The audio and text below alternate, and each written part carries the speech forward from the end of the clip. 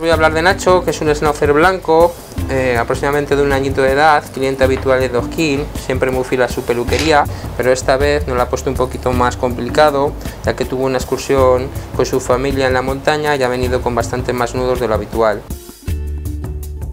Su amo, su buen hacer, ha intentado desenredarlo, cortando por aquí, cortando por allá, y nos hemos encontrado a Nacho con más que un trasquilón, el cual vamos a intentar solucionarlo.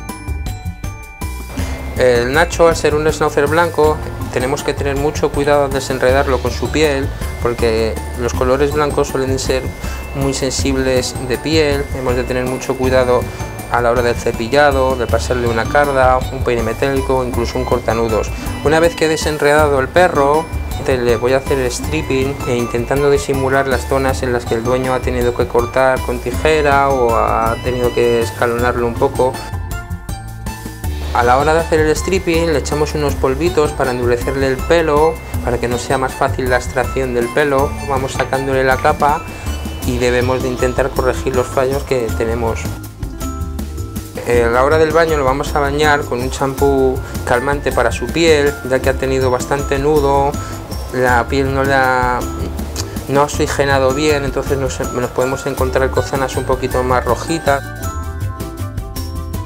Una vez que ya tenemos a Nacho ya totalmente bañado y seco, lo que vamos a hacer es empezarle el corte o seguirle el corte para intentarle disimularle las zonas que el, dueño eh, le ha cortado.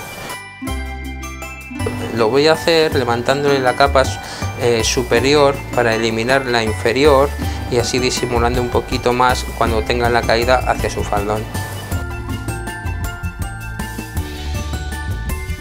Bueno, ya tenemos a Nacho cortado, hemos em, empleado con él stripping, como siempre, habitual en él. Luego hemos, eh, le hemos retocado mucho, mucho con tijera. Y como es, Nacho es un perro que habitualmente viene de Oskin, seguramente en la segunda sesión que le demos ya lo habremos arreglado totalmente las imperfecciones que tenía.